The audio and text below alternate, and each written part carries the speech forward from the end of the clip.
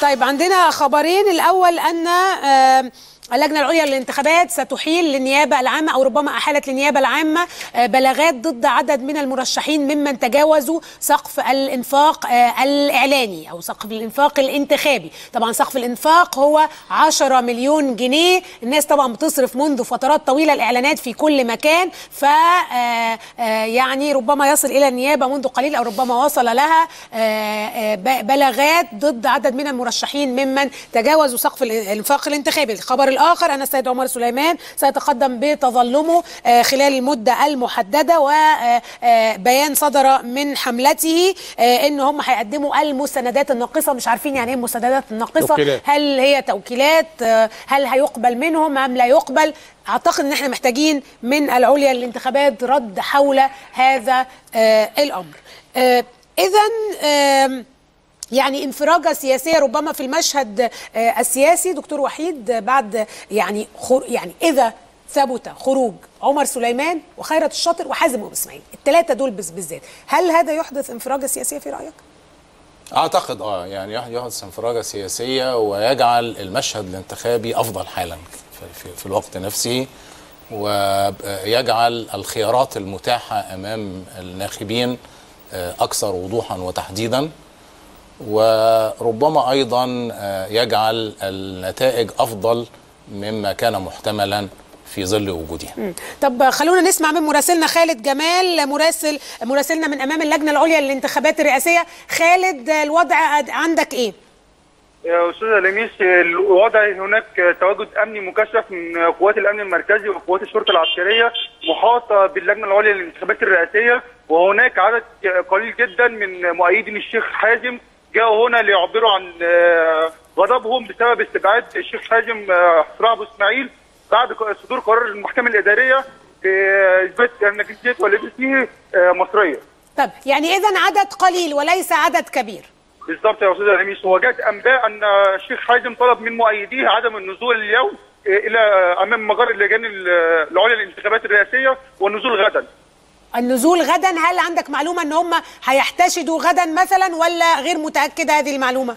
هذه انباء تواترت انها من بعض مؤيديه ولكن غير مؤكدة يا أستاذ طيب يعني نتمنى ضبط النفس وأعتقد إن الشيخ حازم يعني رجل حكيم ويستطيع إن هو يكلم آه، آه، يعني آه، مريديه ومؤيديه إنه يا جماعة الحاجات ما لابد من يعني التروي كده في التصرف وخاصة أن هناك تظلمات. بشكرك خالد جمال مراسلنا من أمام اللجنة العليا للانتخابات دكتور فرحات.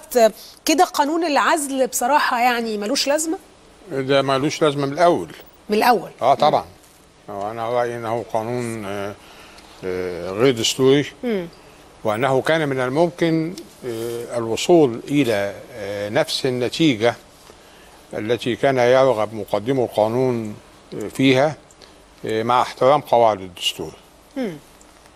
ليه؟ لأن القانون آه، الأول كان مشروع القانون آه، بتعديل قانون انتخابات الرئاسة وبعد كده اتضح إن فيه لا ما كانش فيه قانون الرئاسة لا، كان لا كان آه، آه، قانون افساد الحياة السياسيه لا في الأول خالص كان تعديل قانون انتخابات لا. الرئاسة كان قانون قدم المر... من المرسوم العسكري. بالعزل لا، لا. بالإفساد الحياة السياسيه وبعد الحياة السياسية. هم- حمزاوي مشروعين وبعد- هم مشروع هم مشروعين فقط. مشروعين. المشروع الأول إيه؟ كان المشروع اللي بتاع عصام. بتاع عصام سلطان اللي هو تعديل. في قانون إفساد الحياة السياسية اللي هو الغدر سابقا. ماشي. والتاني اللي هو آه، تعديل في قانون مباشره الحقوق مباشره الحقوق السياسيه يعني إنما لم يطرح موضوع قانون الانتخابات في الرئاسيه لأنه لا. محل لاي في تعديل فيه. هدفين تشريعيين مختلفين.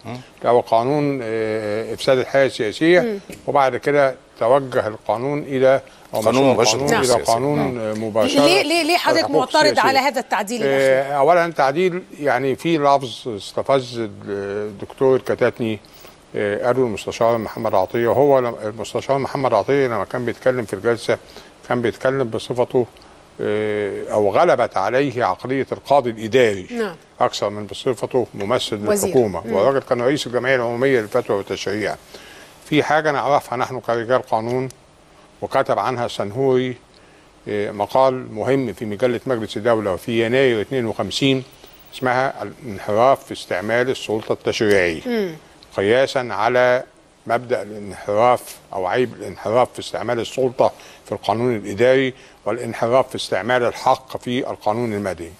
الانحراف في استعمال السلطة التشريعية ده يتحقق بأسباب كثيرة منها عندما يصدر قانون شكله شكل صياغته أنه قانون عام مجرد ولكن من أعماله التحضيرية يستبين أنه موجه للتعامل مع حالة محددة في وقت محدد لشخص نعم. محدد في وقائع محددة وده اللي قاله دكتور عطية على ما. وده وده اللي قاله الدكتور عطية وده اللي قاله الأستاذ عصام سلطان عندما قدم مشروع القانون لأول مرة أفصح عن توجهه أن هذا القانون موجه نحو عزل السيد عمر سليمان من الترشح.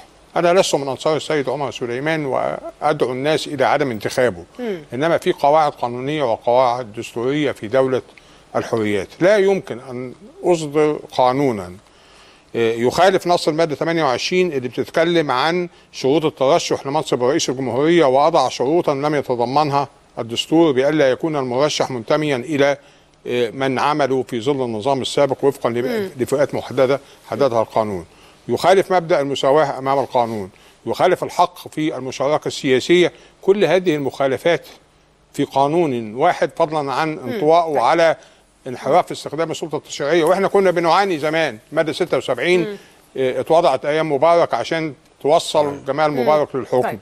وقانون مم- ممارسة الممارسات الاحتكارية أيام أحمد عز اتفصل على أحمد عز. كان ممكن نحقق هدف القانون بحاجة واحدة إن أنا آجي في المادة أربعة من قانون افساد الحياة السياسية اللي هي بتتكلم عن سلطة النائب العام في التحقيق.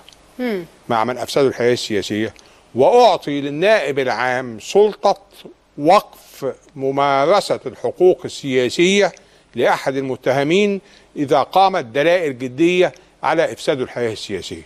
وعلى من يدعي إن عمر سليمان أو أحمد شفيق أو فلان أو علان أفسدوا الحياة السياسية أن يتقدم ببلاغ للنائب العام ويطلب استصدار قرار النائب العام, النائب العام بوقفه عن مباشرة الحقوق. برضه حضرتك يبقى برضه انحراف يعني لو صح المنطق ده ما هو برضه لا ليس انحرافا ليس انحرافا ليس انحرافا. أنا رجل قانون وأعلم ما أقول. ليس انحرافا لأن من حق النائب العام أن يتخذ إجراءات احترازية تفيد أثناء نظر الدعوة زي ما يصدر امرا بالقبض على المتهم وهو لم يدن هذا المتهم إنما محبوس احتياطيا. طيب.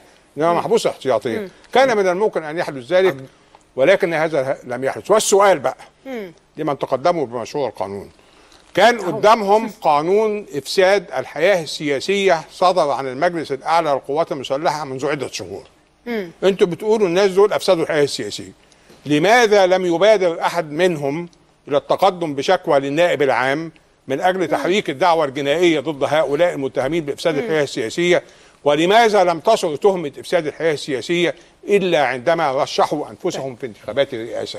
سؤال- في هذا ده سؤال استخدام مهم ونسمع- للتشريع في الصراع السياسي؟ هو ده السؤال ده ملوش. علاقة بموضوع طيب. القانون بس هو البلاغات مقدمة عند. النائب العام ضد ضد عمر سليمان وضد وضد أحمد شفيق ولم يتم تحريكها طيب. طيب. في بلاغات كثيرة إمتى؟ موجودة من من فتره من أشهر هخلي حضرتك ترد يا دكتور بس نسمع كلام آه ما أنا عايز أرد طبعا. على الموضوع كله هو برضو الناس ده. عندها لبس إحنا يعني أنا واحد من يعني الناس ده أستاذ أنور حضرتك امتنعت عن آه التصويت طبعا لأنه خلينا نتكلم برضو الناس آه، اللي امتنع عن التصويت واللي رفض مش معنى كده إن هو موافق على إنه رموز النظام السابق نحن. معارضون لعمر سليمان ومعارضون لأحمد شفيق. مبادئ. يجب إن إحنا بنقول بعد تجربتنا اللي إحنا عشناها وبعد الثورة دي الثورة اللي هي أصلا بتدعو إلى الحريات وحماية الحقوق وإلى آخره.